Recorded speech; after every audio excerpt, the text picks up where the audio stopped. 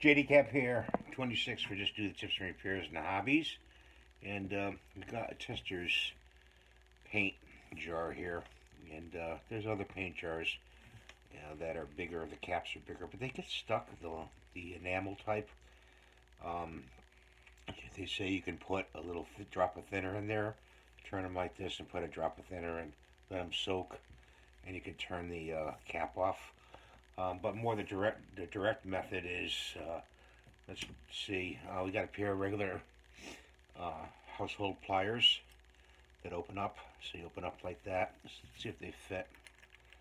Yeah, they do indeed fit. So you can open. Don't squeeze too hard. Just gently and then turn the bottle open like that. So those fit. Okay, that's number one.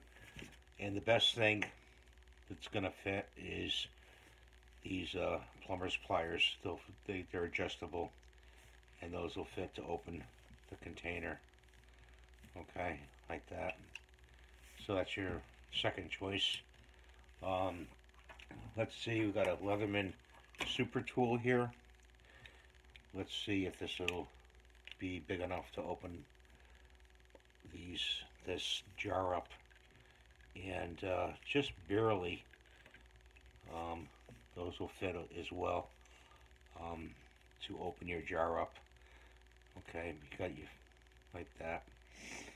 Um, got pretty long distance between these two, but you can still get your hand around it and crank it open.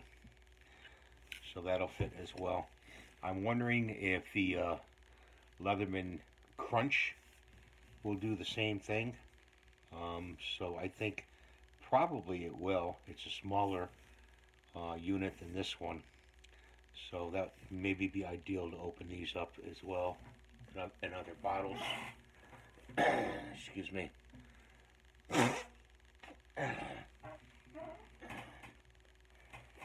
Sinuses. I hope you guys are doing good today. Uh, I myself this morning uh, tried to help my wife uh, make coffee and I uh, fell off the chair. Basically, I pivoted too quickly and I just threw myself off the chair and landed on the floor. So, kind of sore a little bit. Um, that's today's don't don't do that thing, you know. So uh, that's how you open up a you know Testor's paint jar, and um, of course your other paint jars, they're way bigger. This is a Tamiya, so the only thing if these get stuck, usually they don't, they don't. You could probably use these open up because they're really adjustable to open up your Tamiyas.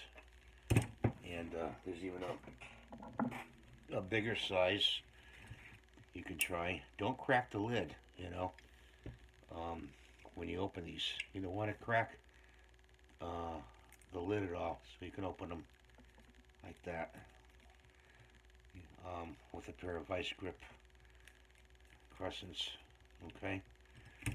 And uh, make sure you tighten them back up nicely because you don't want any air getting in there.